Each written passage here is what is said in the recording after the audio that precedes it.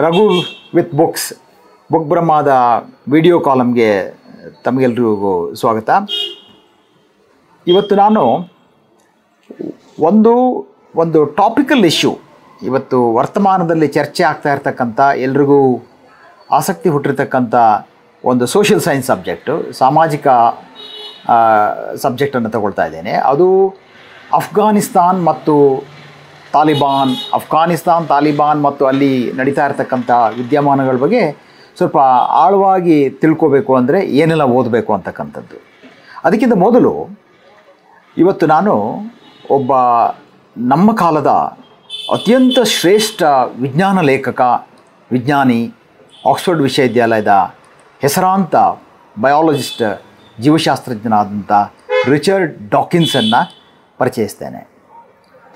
ನಮ್ಮ ಕಾಲದಲ್ಲಿ Richard Dawkins ಬಹಳ ಅತಿ ಹೆಚ್ಚು ವಿಜ್ಞಾನದಲ್ಲಿ ಪ್ರಭಾವ ಬೀರಿದಂಥ ವ್ಯಕ್ತಿ ಅಂತ ಹೇಳ್ಬೋದು. ಹಿಂದೆ ಹೇಗೆ ಕಾಲ್ ಸೇಗನ್ನು ಕಾಸ್ಮಾಲಜಿ ಬಗ್ಗೆ ಇಡೀ ಜಗತ್ತಿಗೆ ಬೆರಗನ್ನು ಮೂಡಿಸಿದನೋ, ಅವನ ಹೇಳುವ ರೀತಿಯಲ್ಲಿಯೇ ಒಂದು ಮೆಸ್ಮರಿಸಮ್ ಅಂತ ಹೇಳ್ತಾರಲ್ಲ, ಒಂದು ವೈಬ್ರೇಟಿಂಗ್ ಫ್ಯಾಕ್ಟರು ಇತ್ತು. ಸೊ ಹಾಗೆ ಜೀವಶಾಸ್ತ್ರದಲ್ಲಿ ರಿಚರ್ಡ್ ಡಾಕಿನ್ಸ್ ಅಂಥದ್ದೇ ಒಂದು ಕಂಪನವನ್ನು ಜಗತ್ತಿನಲ್ಲಿ ಮೂಡಿಸಿದ್ದಾನೆ. ಅವನ ಅನೇಕ ಪುಸ್ತಕಗಳು, ಅದರಲ್ಲೂ ಮುಖ್ಯವಾಗಿ ನಾವು ಗಮನಿಸಬೇಕಾಗಿರ್ತಕ್ಕಂಥದ್ದು ಸೆಲ್ಫಿಶ್ ಜೀನ್ ಅಂತಕ್ಕಂಥ ಒಂದು ಪುಸ್ತಕ. ಸೆಲ್ಫಿಶ್ ಜೀನ್ ಬಗ್ಗೆ ಹೇಳುವುದಾದರೆ ಈ ವಿಜ್ಞಾನದಲ್ಲಿ ಕೆಲವಾರು ಪುಸ್ತಕಗಳನ್ನು ನಾವು ಗಮನಿಸ್ಬೋದು. ಅವು ಹೇಗೆ ಅಂತ ಹೇಳಿದರೆ, ಇಡೀ ನಮ್ಮ ಜೈವಿಕ ಜಗತ್ತಿನತ್ತ ನಾವು ನೋಡುವ ದೃಷ್ಟಿಕೋನವನ್ನೇ ಬದಲಾಯಿಸಿರ್ತಕ್ಕಂಥ ಪುಸ್ತಕಗಳು. ಅದು origin of species Charles Darwin ಇರ್ಬೋದು ಅಥವಾ ನಮ್ಮ ಭೌತಶಾಸ್ತ್ರದಲ್ಲಿ brief history of time, Steven ಹಾಕಿಂಗ್ದು ಹೇಗೆ ಭಾಳ ಒಂದು ಮೈಲುಗಲ್ಲುಗಳು ಅಂತ ನಾವು ಹೇಳ್ತೀವಲ್ಲ, ಆ ರೀತಿ ಜೀವಶಾಸ್ತ್ರದಲ್ಲಿ ಆರಿಜಿನ್ ಆಫ್ ಸ್ಪೀಶೀಸ್ ನಂತರ ಒಂದು ಮೈಲಿಗೊಲ್ಲು ಅಂತ ಹೇಳುವಂಥದ್ದಾದರೆ ಸುಮಾರು ನಲವತ್ತು ವರ್ಷಗಳ ಹಿಂದೆ ಪಬ್ಲಿಷ್ ಆಗಿರ್ತಕ್ಕಂಥದ್ದು, ಸಾವಿರದ ಒಂಬೈನೂರ ಎಪ್ಪತ್ತಾರರಲ್ಲಿ. ಆದರೆ ಅದು ಇಂದಿಗೂ ಕೂಡ ಬಹಳಷ್ಟು ಚರ್ಚೆ ಆಗ್ತಾ ಇರ್ತಕ್ಕಂಥ ಮತ್ತು ಹೊಸ ಹೊಸ ವಿಚಾರಗಳಿಗೆ ನಾಂದಿ ಹಾಡಿರ್ತಕ್ಕಂಥ ಒಂದು ಪುಸ್ತಕ ಅಂತ ಹೇಳಿದರೆ ರಿಚರ್ಡ್ ಡಾಕಿನ್ಸ್ನ ಸೆಲ್ಫಿಶ್ ಜೀನ್ ಅಂತ ಹೇಳ್ತಕ್ಕಂಥದ್ದು. ಡಾಕಿನ್ಸು ಅನೇಕ ಪುಸ್ತಕಗಳನ್ನು ಬರೆದಿದ್ದಾನೆ.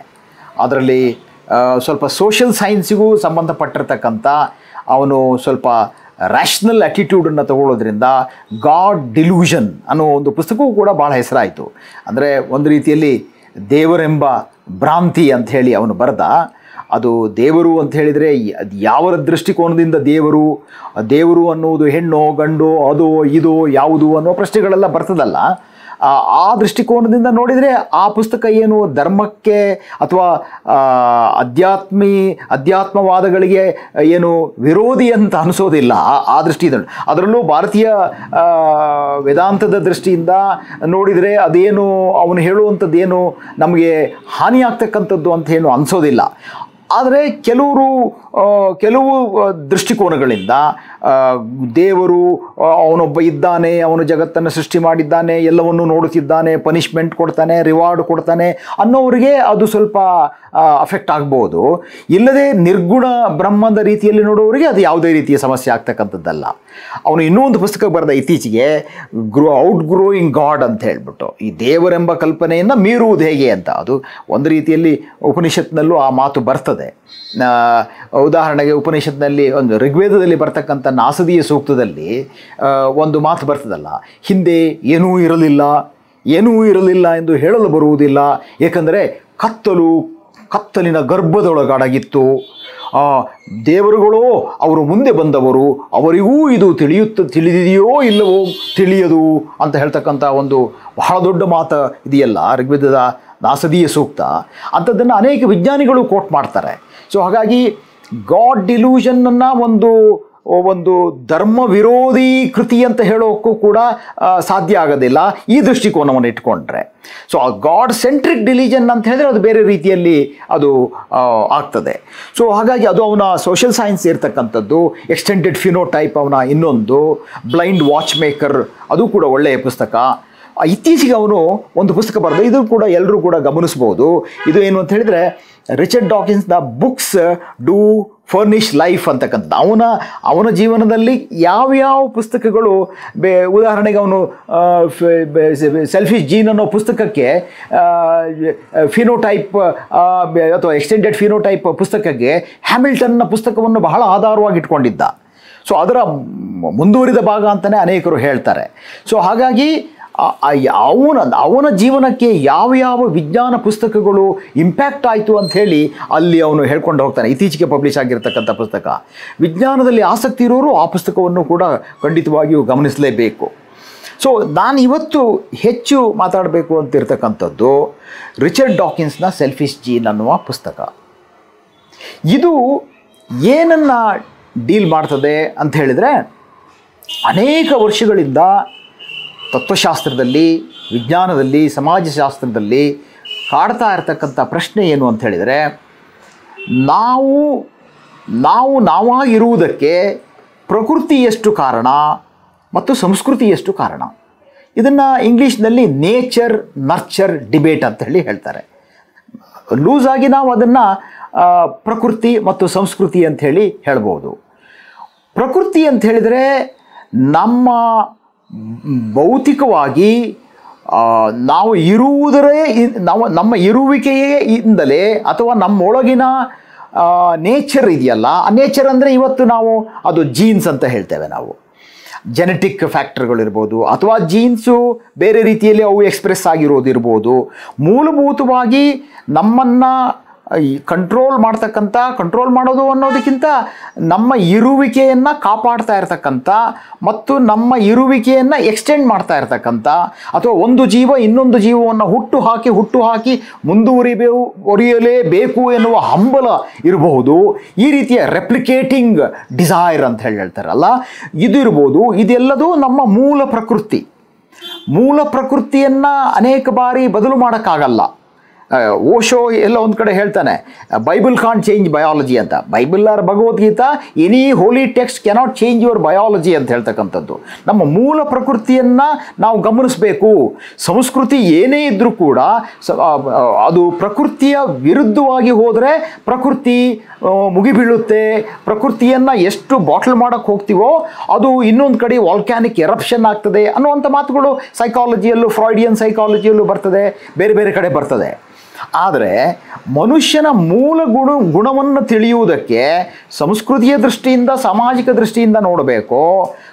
ಸೋಷಲಿ ಕನ್ಸ್ಟ್ರಕ್ಟೆಡ್ ರಿಯಾಲಿಟಿ ಅಂತ ಹೇಳ್ತಾರೆ. ಸಾಮಾಜಿಕವಾಗಿ ಕಟ್ಟಲ್ಪಟ್ಟ ನೇಚರನ್ನು ನೋಡಬೇಕು. ಅಥವಾ ಮೂಲ ಪ್ರಕೃತಿಯಲ್ಲೇ ನಮ್ಮ ಗುಣಗಳನ್ನು ತಿಳಿಬೇಕಾ ನಾವು? ಅಂತಕ್ಕಂಥ ಡಿಬೇಟು ನೇಚರ್ ವರ್ಸಸ್ ನರ್ಚರ್ ಅನ್ನುವ ಡಿಬೇಟ್ ಅದು. ಅದನ್ನು ಮ್ಯಾಟ್ ರಿಡ್ಲಿ ಅಂತ ವಿಜ್ಞಾನ ಬರಹಗಾರರು ನೇಚರ್ ವಿಯಾ ನರ್ಚರ್ ಅಂತ ಹೇಳಿದರು. ಅಂದರೆ ಪ್ರಕೃತಿ ಅಂತಕ್ಕಂಥದ್ದು ಸಂಸ್ಕೃತಿಯ ಹಾದಿಯಲ್ಲಿ ಹೋ ಹಾದು ಮಾರ್ಪಾಡುಗೊಂಡು ಬೆಳೀತಕ್ಕಂಥದ್ದು ಅಥವಾ ನಮ್ಮ ಎಲ್ಲ ನಡವಳಿಕೆ, ಗುಣಗಳಿಗೆ ಅದು ಅದು ಅದರ ಪ್ರಭಾವವೇ ಹೆಚ್ಚು ಅಂತ ಹೇಳ್ತಕ್ಕಂಥದ್ದು.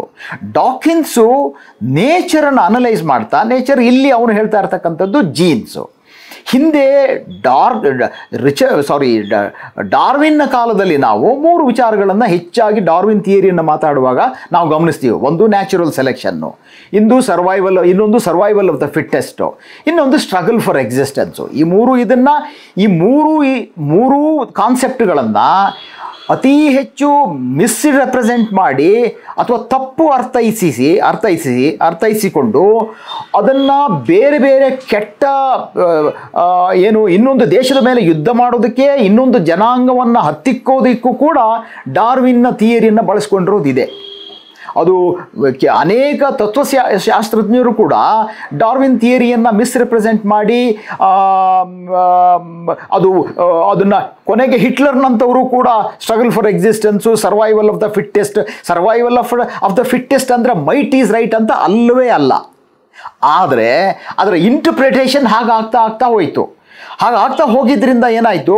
ಡಾರ್ವಿನ್ ಫಿಟ್ಟೆಸ್ಟ್ ಸ್ಟ್ರಗಲ್ ಫಾರ್ ಸರ್ವ ಸ್ಟ್ರಗಲ್ ಫಾರ್ ಎಕ್ಸಿಸ್ಟೆನ್ಸು ನಾಲ್ಕು ಜನ ಮುಗಿಸಿದ್ರು, ನಾನು ಬದುಕಬೇಕು ಅನ್ನುವಂಥ ವಾದಗಳು ಅಥವಾ ಅವ್ರನ್ನೆಲ್ಲ ಈ struggle for ಎಕ್ಸಿಸ್ಟೆನ್ಸಲ್ಲಿ all is fair in love and war ಅನ್ನೋ ಥರ ಕಾನ್ಸೆಪ್ಟು ಬಯಾಲಜಿಯಲ್ಲಿ ಎಂಬೆಡೆಡ್ ಇದೆ ಅಂತ ಹೇಳೋದು. ನಮ್ಮ ಮೂಲ ಪ್ರಕೃತಿಯೇ ಅದು ಅಂತ ಹೇಳಿ ನಮ್ಮ ಗುಣಗಳಿಂದ, ಗುಣಗಳಿಗೆ ಸಪೋರ್ಟ್ ಆಗಿ ವಿಜ್ಞಾನವನ್ನು ತರುವಂಥದ್ದಿದೆ. ಎಷ್ಟೋ ಬಾರಿ ನಮ್ಮ ನಾವು ಮಾಡುವ ಅನಾಹುತಗಳಿಗೆ ವಿಜ್ಞಾನದ ಸಪೋರ್ಟನ್ನು ತರುವಂಥ ಒಂದು ಒಂದು ಪ್ರಕ್ರಿಯೆ ನಡ್ಕೊಂಡು ಬಂದಿದೆ. ಸೊ ಹಾಗಾಗಿ ಈ struggle for existence natural selection ಅಂತಕ್ಕಂಥದ್ದು ತುಂಬ ವೈಜ್ಞಾನಿಕ. ಅನೇಕರು ಹೇಳ್ತಕ್ಕಂಥದ್ದು ಜೀವಶಾಸ್ತ್ರವನ್ನು, ಈ ಜೀವ ಜಗತ್ತನ್ನು ಅದರ ಬಗ್ಗೆ ನಾವು ವಿವರಣೆನ ಕೊಡು, ಕೊಡುವುದಕ್ಕೆ, ಅದನ್ನು ಎಕ್ಸ್ಪ್ಲೈನ್ ಮಾಡೋದಕ್ಕೆ ಡಾರ್ವಿನ್ನ ಎವಲ್ಯೂಷನ್ ಥಿಯರಿ ಬಿಟ್ಟರೆ ಗತಿ ಇಲ್ಲ ಅಂತಕ್ಕಂಥದ್ದು. ಯಾಕಂದರೆ ಅದು ಅದು ಯಾವ ರೀತಿಯಲ್ಲಿ ನೋಡ್ಕೊಂಡು ಬಂದರೂ ಅದು ಫಂಡಮೆಂಟಲ್ ಆಗಿ ಅದು ನಿಲ್ತದೆ. ಆದರೆ ಡಾರ್ವಿನ್ಗೆ ಜೀನ್ಸ್ ಇದೆ, ಡಿ ಎನ್ ಎ ಇದೆ ಅಂತ ಆ ಕಾಲದಲ್ಲಿ ಗೊತ್ತಿರಲಿಲ್ಲ. ಅದರ ಒಂದು broad concept it still holds good and it holds water ಇವತ್ತಿಗೂ ಅದು ಸತ್ಯವೇ.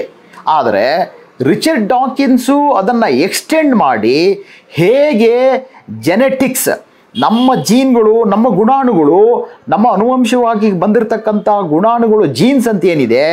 ಜೀನ್ಸ್ ಜೀನ್ಸ್ ಅಂತ ಹೇಳಿದರೆ a set of D N A which express protein so ಅದು ಯಾಕೆ ಪ್ರೋಟೀನು ನಾನೀಗೇನೋ ಸ್ಟಾರ್ಚ್ ತಿಂದರೆ ಅದರಲ್ಲಿ ಒಂದು ನಮ್ಮ ದೇಹ ಅಮೈಲೈಸ್ ಪ್ರೊಡ್ಯೂಸ್ ಮಾಡುತ್ತೆ ಸ್ಟಾರ್ಚಿಂದ ಬ್ರೇಕ್ ಡೌನ್ ಮಾಡುತ್ತೆ. ಸೊ ಈ ರೀತಿಯಾಗಿ ನಮ್ಮ ದೇಹ ಪ್ರಕೃತಿ ಉಳಿಬೇಕು ಅಂತ ಹೇಳಿದರೆ ಜೀನ್ ಕನ್ಸರ್ವ್ ಆಗಬೇಕು. ಜೆನೆಟಿಕ್ಸ್ನ ಮೂಲ ಅವನು ಯಾಕೆ ಸೆಲ್ಫಿಶ್ ಜೀನ್ ಅಂತ ಹೇಳ್ದ ಅಂತ ಹೇಳಿದರೆ, ಈ ಜೀನ್ಗಳ ಮೂಲ ಉದ್ದೇಶ ಏನು ಅಂತ ಹೇಳಿದರೆ ತನ್ನ ಇರುವಿಕೆಯನ್ನು ಕಾಪಾಡಿಕೊಳ್ಳುವುದು, ತಾನು ಹಂಚಿ ಹರಡುವ, ಹರಡಿ ಹೋ, ಹರಡಬೇಕು, ತನ್ನ ಇದ್ದಂಗೆ ಅವನು ಮುಂದುವರಿಬೇಕು ಅಂತ ಹೇಳ್ತಕ್ಕಂಥ ಒಂದು ಆಳವಾದ ಇನ್ಫಾರ್ಮೇಷನ್ ಇದೆ ಅಲ್ಲಿ, ಒಂದು ಮಾಹಿತಿ ಇದೆ. ಆ ಮಾಹಿತಿ ಅದರ ಜೆನೆಟ್ ಜೀನ್ನ ಒಳಗಡೆ ಇದೆ. ಆ ಜೀನು ಸತತವಾಗಿ ರೆಪ್ಲಿಕೇಟ್ ಈಗ ರೆಪ್ಲಿಕೇಟ್ ಆಗಬೇಕು ಅಂತ ಹಂಬಲದಲ್ಲಿರ್ತದೆ, ಹೋರಾಟ ಮಾಡ್ತದೆ. ಉದಾಹರಣೆಗೆ ಈ ಸಾರ್ಸ್ ಕೋವಿ ಟೂ ಅಂತಕ್ಕಂಥ ವೈರಸ್ಸು ಅದು ಮನುಷ್ಯರನ್ನ ಇನ್ಫೆಕ್ಟ್ ಮಾಡಿ ತಾನು ಬದುಕಬೇಕು ಅಂತೇಳಿ ವ್ಯಾಕ್ಸಿನ್ ಕೊಟ್ಟರೆ ಇನ್ನೇನೋ ಬದಲಾಗಿ ಇನ್ನೇನೋ ಬದಲಾಗಿ ಹೋರಾಟ ಮಾಡಿಕೊಂಡು ಹೇಗೋ ನಮ್ಮ ಜೀವಕೋಶದೊಳಗಡೆ ಹೇಗೋ ಕಳ್ಳತನದಿಂದಲೋ ನಾನೇ ನಿನ್ನ ಸ್ನೇಹಿತ ಅಂತಲೋ ಹೇಳಿಯೋ ನಮ್ಮ ಜೀವಕೋಶದೊಳಗಡೆ ಹೋಗಿ ತಾನು ಸಂತಾನೋತ್ಪತ್ತಿ ಮಾಡ್ಕೊಳ್ತಾ ಇದೆಯಲ್ಲ, ಆ ಹಂಬಲ ಏನು? To replicate itself by hijacking the human body ಇದು, ಇದನ್ನ ಆತ ಸೆಲ್ಫಿಶ್ ಅಂತ ಹೇಳಿ ಹೇಳ್ದ. ಸೆಲ್ಫಿಶ್ ಅಂತ ಹೇಳಿದ್ರೆ, ಹೌದಪ್ಪ, ನನಗೆ ಬೇರೆ ಯಾವ ಆಸಕ್ತಿ ಇಲ್ಲ. ಒಂದು ಎರಡು ಆಗಬೇಕು ಅನ್ನೋ ಆಸೆ ಫ್ರಾಯ್ಡು ಕೂಡ ಅದನ್ನು ಹೇಳಿದ what is very important in life ಅಂತ ಹೇಳಿದರೆ ಸೆಕ್ಸ್ ಟು ಬಿ ಇಂಪಾರ್ಟೆಂಟ್ ಅಂತ ಹೇಳಿ. ಸೆಕ್ಸ್ ಅಂತ ಹೇಳಿದ್ರೆ ಬ್ರಾಡ್ ಇದು, ಇದಾಯಿತು. ಇಲ್ಲಿ genetic affinity genetic affiliation genetic leaning longing ಅಂತ ಹೇಳ್ತಕ್ಕಂಥದ್ದು. ನಾನು ಏನಾಗಬೇಕು ನಾನು ಹೇಗಿರಬೇಕು, ನಾನು ಹೇಗೆ ಬದುಕಬೇಕು ಅನ್ನುವಂಥ ಹಂಬಲ ನಾನು ಮಾನಸಿಕವಾಗಿ ಹೇಳುವಂಥದ್ದಲ್ಲ. ನನ್ನ ಮಾನಸಿಕ ಸ್ಥಿತಿ, ಸ್ಥಿತಿಗೂ ಕೂಡ ಬದುಕಬೇಕು ಅನ್ನೋ ಹೋರಾಟಕ್ಕೆ ಜೀನ್ಸಿಂದ ಎಷ್ಟು ಟ್ರಿಗರ್ ಆಗ್ತದೆ ಅಂತಕ್ಕಂಥದ್ದು ಬಹಳ ದೊಡ್ಡ ವಿಷಯ. ಇದು ಇದರ ಎಲ್ಲರ ಹುಟ್ಟು ಆ ಜೀನ್ಗಳಲ್ಲಿ ಇದೆಯಾ ಈ ಎಲ್ಲ ಭಾವನೆಗಳು ಇವು ಏನೇನು ನಾವು ಹೇಳ್ತೀವಲ್ಲ, ನಾವು ಇದು ಯಾರೋ ಹೇಳಿಕೊಟ್ಟಿದ್ದು ಅಂತಕ್ಕಂಥದ್ದು ಬೇರೆ ವಿಷಯ ಇದೆ. ಅದಕ್ಕೆ ಅದನ್ನು ಅವನು ಚೆನ್ನಾಗಿ ಡೀಲ್ ಮಾಡ್ತಾನೆ. ಆದರೆ ಈ ಸೆಲ್ಫಿಶ್ ಜೀನ್ ಅಂತ ಹೇಳುವ ಒಂದು ಪ್ರಕ್ರಿಯೆ ಅನ್ನುವಂಥ ಏನಿದೆಯಲ್ಲ, ತನ್ನನ್ನು ತಾನು ಉಳಿಸಿಕೊಳ್ಳೋದಕ್ಕೆ ತಾನು ಏನು ಬೇಕಾದರೂ ಮಾಡ್ತಾನೆ, ಹೋರಾಟ ಮಾಡ್ತಾನೆ ಅಂತಕ್ಕಂಥ ಒಂದು ಜೆನೆಟಿಕ್ ಇನ್ಫಾರ್ಮೇಷನ್ನು ಅದನ್ನು ಅವನು ಸೆಲ್ಫ್ ಸೆಲ್ಫಿಶ್ ಜೀನ್ ಅಂತ ಹೇಳಿ ಕರೆದ. ಆದರೆ ಅದರಲ್ಲಿ ಅವನು ಒಂದು ಮಾತು ಹೇಳ್ತಾನೆ. ಸೆಲ್ಫಿಶ್ ಆಗಿರುವ ಇರುವುದಕ್ಕಾಗಿ ಆತನು, ಅಂದರೆ ಆ ಜೀನು ಪರೋಪಕಾರಿಯೂ ಆಗುತ್ತದೆ. ತನ್ನನ್ನು ತಾನು ಉಳಿಸಿಕೊಳ್ಳುವುದಕ್ಕಾಗಿ ಪರೋಪಕಾರಿ, ಅಂದರೆ ಆಲ್ಟ್ರೂಯಿಸಮ್ ಅಂತಾರೆ. ಹೌ ವಿ ಆರ್ ಆಲ್ಟ್ರ ಅದಕ್ಕೆ ಇಷ್ಟು, ಇತ್ತೀಚೆಗೆ ಅನೇಕರು ಕೇಳ್ತಾರೆ, ನಾವು ಪರೋಪಕಾರಿ ಗುಣಗಳು ನಮಗೆ ಹಿರಿಯರು ಹೇಳಿಕೊಟ್ಟಿದ್ದರಿಂದ ಬಂತ, ಅಥವಾ ನಮ್ಮ ಜೀನ್ಸಲ್ಲೇ ಇದೆಯೋ ಅನ್ನೋ ಒಂದು ದೊಡ್ಡ, ಬಹಳ ದೊಡ್ಡ ಪ್ರಶ್ನೆ ಅದು. Is altruistic nature is embedded in us is it genetically hard wired in us ಅಂತ ಹೇಳ್ತಕ್ಕಂಥದ್ದು. ಜೆನೆಟಿಕ್ ಜೀನ್ಸ್ಗಳಲ್ಲೇ ನಾವು ಇನ್ನೊಬ್ರಿಗೆ ಉಪಕಾರ ಮಾಡಬೇಕು ಅಥವಾ ಇನ್ನೊಬ್ಬರನ್ನು ಚೆನ್ನಾಗಿ ನೋಡ್ಕೋಬೇಕು ಅನ್ನುವ ಗುಣ ಜೆನೆಟಿಕ ಪರೋಪಕಾರಿ ಅಂತಕ್ಕಂಥದ್ರಲ್ಲಿ ಅದ್ರಲ್ಲಿ ಒಂದು ಹೇಳ್ತಾರೆ ರೆಸಿಪ್ರೋಕಲ್ ಆಲ್ಟ್ರೂಯಿಸಮ್ ಅಂತ. ರೆಸಿಪ್ರೋಕಲ್ ಅಂದರೆ ನಾನು ನಿನಗೆ ಹೆಲ್ಪ್ ಮಾಡಿದರೆ ನೀನು ನನಗೆ ಹೆಲ್ಪ್ ಮಾಡ್ತೀಯಾ? ಈಗ ಈ ವ್ಯಾಂಪೈರ್ ಬ್ಯಾಟ್ಗಳು ಯಾವುದಾದ್ರೂ ಹಸಿವಿರುವಂಥ ಇನ್ನೊಂದು ಬ್ಯಾಟ್ ಇದ್ದರೆ ತಾನು ತಿಂದ ಬ್ಲಡ್ಡನ್ನೇ ಎಕ್ಸ್ಚೇಂಜ್ ಮಾಡ್ಕೊಳ್ತದೆ. ಯಾಕಂದರೆ ನಾಳೆ ದಿನ ನಾನು ಇಲ್ಲಿ ಹಸಿವಿದ್ರೆ ಅವನು ಕೊಡ್ತಾನೆ ಅನ್ನುವ ಒಂದು ಭಾವನೆ. ಆ ಭಾವನೆ ಯಾಕೆ? ಸರ್ವೈವಲ್ ಅದು. ಈ ಸರ್ವೈವಲ್ ಇನ್ಸ್ಟಿಂಕ್ಟ್ ಎಲ್ಲಿಂದ ಬಂತು? ಜೆನೆಟಿಕ್ಕಿಂದ ಬಂತು. ಈ ಜೆನೆಟಿಕ್ಕಿಂದನೇ ಈ ಪರೋಪಕಾರಿ ಗುಣಗಳು ಎಷ್ಟು ಬಂದವು ಅನ್ನುವಂಥ ಪ್ರಶ್ನೆಗಳಿದ್ದಾವೆ ಎಲ್ಲದಕ್ಕೂ ಫೈನಲ್ ಉತ್ತರ ಇದೆ ಅಂತಕ್ಕಂಥದ್ದಲ್ಲ. ಇನ್ನೊಂದು ಪ್ರಶ್ನೆ ಕೇಳ್ತಾರೆ, ಯಾಕೆ ಮನುಷ್ಯ ಮನುಷ್ಯನನ್ನು ತಿನ್ನಲ್ಲ? ಅದಕ್ಕೂ ಏನು ಹೇಳ್ತಾರೆ if each one of us eat other none of us would exist ಅಂತ. ಮನುಷ್ಯ ಇನ್ನೊಬ್ಬನ ತಿನ್ಕೊಂಡು ಹೋದರೆ ನಾವ್ಯಾರು ಉಳಿಯು, ಉಳಿಯೋಲ್ಲ ಅನ್ನುವ ನಂಬಿಕೆ ಇರೋದರಿಂದ ಇದಕ್ಕೆ ಕೈ ಹಾಕಲಿಲ್ಲ ಅಂತಕ್ಕಂಥದ್ದು. ಇನ್ನೊಂದು, ಈ ಈ ಪ್ರಕ್ರಿಯೆ ಯಾಕೆ ಇಲ್ಲ ಅಂತ ಹೇಳಿದರೆ, ಅವನಿಗೆ ಕೆನೆಬಾಲಿಸಮ್ಮಿಂದ ಡಿಸೀಸ್ ಬಂದು, ಕಾಯಿಲೆಗಳು ಬಂದು ಅವನು ಸರ್ವನಾಶ ಆಗ್ತಾನೆ ಅಂತಲೂ ಗೊತ್ತಾಯ್ತಾ? ಅದು ಜೆನೆಟಿಕ್ ಪ್ರೋಗ್ರಾಮ ಹಾಗಾಗಿ ಮನುಷ್ಯನ ಮಾಂಸಕ್ಕೆ ಅವನಿಗೆ ಅಲರ್ಜಿ ಬಂತ? ಅಥವಾ ಅಸಡ್ಡೆ, ಅಥವಾ ಇದು ಇದು ಹಾರಿಬಲ್ ಅಂತ ಹೇಳ್ತಕ್ಕಂಥದ್ದು ಅವನಿಗೊಂದು ಫೀಲಿಂಗ್ ಬಂತ? ಇದಕ್ಕೆ ಜೀನ್ಗಳು ಕಾರಣವ ಅಂತ ಹೇಳ್ತಕ್ಕಂಥದ್ದು ಇದೆಯಲ್ಲ? ಇದು ಬಹಳ ಆಲೋಚನೆ ಮಾಡಬೇಕಾಗಿರ್ತಕ್ಕಂಥ ಅನಲೈಸ್ ಮಾಡಿರ್ತ, ಮಾಡಬೇಕಾಗಿರ್ತಕ್ಕಂಥ ವಿಷಯ ಅಂತ ಅನಿಸುತ್ತೆ. ಹೀಗೆ ಅವನು ಈ ಎರಡನ್ನು, ಈಗ ಆ್ಯಡಮ್ ಸ್ಮಿತ್ ಎಕನಾಮಿಕ್ಸಲ್ಲಿ ಒಂದು ಮಾತು ಹೇಳ್ತಾನೆ. ನೀನು ನಿನ್ನ ಸ್ವಾರ್ಥವನ್ನು ನೋಡ್ಕೊಂಡು ಹೋಗ್ತಾ ಇರಪ್ಪ, ಅದ್ರ ಒಳಗಡೆನೆ ಸಮಾಜಕ್ಕೆ ಬೆನಿಫಿಟ್ ಆಗ್ತದೆ ಅಂತ. ಅವಾಗ ಏನಪ್ಪ ಇದು ಸ್ವಾರ್ಥ ಇಟ್ಕೊಂಡ್ರೆ ಸಮಾಜಕ್ಕೆ ಹೇಗೆ ಬೆನಿಫಿಟ್ ಆಗೋದು ಅನ್ನೋ ಒಂದು ಪ್ರಶ್ನೆ ಬರ್ತದೆ. ಅದಕ್ಕೆ ಅವನೇನು ಹೇಳ್ತಾನೆ, ನೀನು ಯಾವುದೋ ಒಂದು ಬಿಸ್ನೆಸ್ಸಲ್ಲಿದೆಯಾ ಬಿಸ್ನೆಸ್ಸಲ್ಲಿ ನೀನು ಒಳ್ಳೆ ಕ್ವಾಲಿಟಿ ಕೊಡಬೇಕು ಒಳ್ಳೆ ಕ್ವಾಲಿಟಿ ಬಂದರೆ ಹೆಚ್ಚು ಕಸ್ಟಮರ್ ನನ್ನ ಕಡೆ ಬರ್ತಾರೆ ಅಂತ ನನಗೆ ಫೀಲಿಂಗ್ ಇದೆ. ಹಾಗೆಯೇ ನಾನು ಸ್ವಲ್ಪ ರೇಟು ಒಳ್ಳೆ ರೇಟ್ ಕೊಟ್ಟರೆ ಹೆಚ್ಚು ಕಸ್ಟಮರ್ ನನಗೆ ಬರ್ತಾರೆ ಅಂತ ನಿನ್ನ ಸೆಲ್ಫಿಶ್ ಇದು ಹೇಳ್ತದೆ, ಸ್ವಾರ್ಥ ಹೇಳುತ್ತೆ. ನಾನು ಮಾರ್ಕೆಟ್ ಹಿಡಿಬೇಕು ಅಂತ. ಆ ಸ್ವಾರ್ಥಕ್ಕೆ ಸ್ವಾರ್ಥದ ಹಿಂದೆ ಬಿದ್ದಿದ್ದರಿಂದ ಜನಗಳಿಗೆ ಒಳ್ಳೆ ಕ್ವಾಲಿಟಿ ಮೆಟೀರಿಯಲ್ ಸಿಕ್ತು, ಕಡಿಮೆ ರೇಟಿಗೆ ಸಿಕ್ತು. ಇದೂ ಕೂಡ ಒಂದು ರೀತಿಯಲ್ಲಿ selfish interest will lead to invisible benefit ಅಂತ ಹೇಳಿ ಅವನು ಹೇಳ್ತಾನೆ. ಇನ್ವಿಸಿಬಲ್ ಹ್ಯಾಂಡ್ ಅಂತ.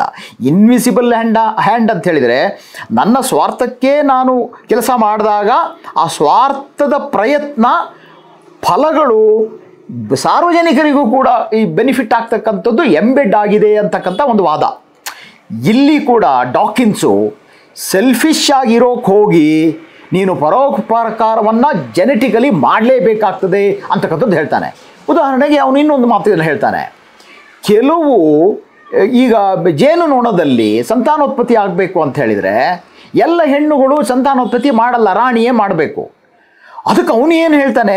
ಎಲ್ಲ ನೊಣಗಳು, ಜೇನು ನೋಣಗಳು ಸಂತಾನೋತ್ಪತ್ತಿ ಮಾಡಿದರೆ ಅದರ ಜೀನ್ ಟ್ರಾನ್ಸ್ಮಿಷನ್ ಅದರ ಜೀನ್ಗಳು ಏನು ಮುಂದೆ, ಪೀಳಿಗೆಯಿಂದ ಪೀಳಿಗೆಗೆ ಹೋಗಬೇಕಾದ್ರೆ ನೂರದಿದ್ದು ಐವತ್ತು ಪರ್ಸೆಂಟಿಗೆ ಕಮ್ಮಿ ಆಗ್ತದೆ ಜೀನ್ ಕ್ಯಾರೆಕ್ಟರಿಸ್ಟಿಕ್ಸ್ ಅಂತ ಹೇಳ್ತಾನೆ. ಅಂತೇಳಿ ಜೀನಿನ ಗುಣಗಳು ಎಲ್ಲ ಜೇನುನೊಣಗಳು ಸಂತಾನೋತ್ಪತ್ತಿ ಮಾಡಿದರೆ ತನ್ನಲ್ಲಿರುವ ಶೇಕಡ ನೂರರಷ್ಟು ಇರ್ತಕ್ಕಂಥ ಜೀನಿನ ಗುಣಗಳು ಐವತ್ತಕ್ಕೆ ಇಳಿತದೆ ಐವತ್ತರಿಂದ ಕಮ್ಮಿ ಆಗ್ತಾ ಹೋಗ್ತಾ ಜೇನು ಜೇನಾಗಿಯೇ ಉಳಿಯುವುದಿಲ್ಲ. ತನ್ನ ಜೆನೆಟಿಕ್ ಟ್ರೇ ಅಂತ ಹೇಳ್ತೀವಲ್ಲ, ಗುಣ, ಗುಣಾಣುಗಳ ಒಂದು ಒಂದು ವೈಶಿಷ್ಟ್ಯತೆ ಅಂತ ಏನಿದೆಯಲ್ಲ, ಆ ವೈಶಿಷ್ಟ್ಯತೆಯನ್ನು ಉಳಿಸ್ಕೋಬೇಕು ಅಂದರೆ ರಾಣಿಯೇ ಸಂತಾನೋತ್ಪತ್ತಿ ಮಾಡಬೇಕು. ಆವಾಗ ಸೆವೆಂಟಿ ಫೈವ್ ಎಪ್ಪತ್ತೈದು ಶೇಕಡ ಎಂಬತ್ತರಷ್ಟು ಆ ಗುಣಾಣುಗಳು ಉಳ್ಕೊಂಡು ಹೋಗ್ತದೆ ಟ್ರಾನ್ಸ್ಮಿಷನ್ ಆಗ್ತದೆ ಅಂತ. ಇದಕ್ಕೋಸ್ಕರ ಅವರು ಸಂತಾನೋತ್ಪತ್ತಿನೇ ಮಾಡಲಿಲ್ಲ ಅಂತ ಹೇಳಿದರೆ ನಾನು ಸಂತಾನೋತ್ಪತ್ತಿ ಮಾಡದೇ ಇದ್ದರೂ ಪರವಾಗಿಲ್ಲ, ರಾಣಿಯೇ ಮಾಡಿದರೂ ಪರವಾಗಿಲ್ಲ, ಆದರೆ ನಮ್ಮ ಜೀನ್ಸ್ಗಳು ಉಳಿಬೇಕು. ಅವೇನು ಮನಸ್ಸು ಮಾಡಿ ಮಾಡುವಂಥದ್ದಲ್ಲ, ಮನಸ್ಸು ಮೈಂಡ್ ಬೇಸ್ಡ್ ಅಲ್ಲ ಇದು. ಇದು ಜೀನ್ಸೇ ಈ ರೀತಿಯಾಗಿ ಇನ್ಫಾರ್ಮೇಷನನ್ನು ನಮ್ಮ ಇನ್ಫಾರ್ಮೇಷನ್ ಮೂಲಕ ನಮ್ಮನ್ನು ಕಂಟ್ರೋಲ್ ಮಾಡಿ ಇದು ಮುಂದುವರಿತಾ ಇದೆ ಅಂತ ಹೇಳ್ತಕ್ಕಂಥದ್ದು. ಹೀಗೆ ಅವನು ಆಲ್ಟ್ರೂಯಿಸಮನ್ನು ಬೇರೆ ಬೇರೆ ರೀತಿಯಲ್ಲಿ ಯಾವ ರೀತಿಯಲ್ಲಿ ಈಗ ಇನ್ನೊಂದು ಅವನು ಒಂದು ಉದಾಹರಣೆ ಕೊಡ್ತಾನೆ. ಈ ಮ್ಯಾಂಟಿಸ್ ಅಂತಕ್ಕಂಥ ಇನ್ಸೆಕ್ಟ್ ಇದೆಯಲ್ಲ, ಆ ಇನ್ಸೆಕ್ಟ್ ಏನು ಮಾಡ್ತದೆ?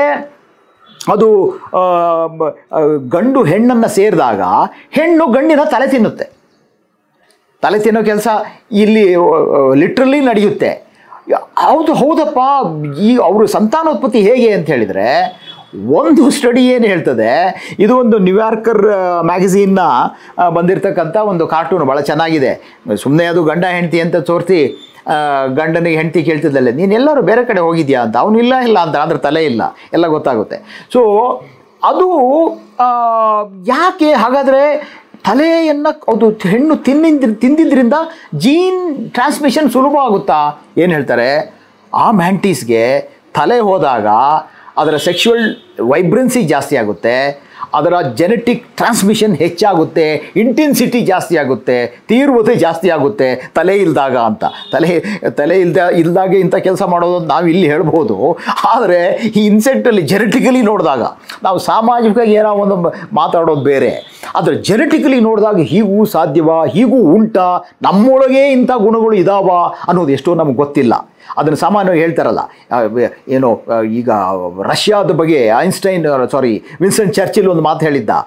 Russia is a riddle wrapped in mystery inside the enigma ಅಂತ ಹೇಳ್ಬಿಟ್ಟು.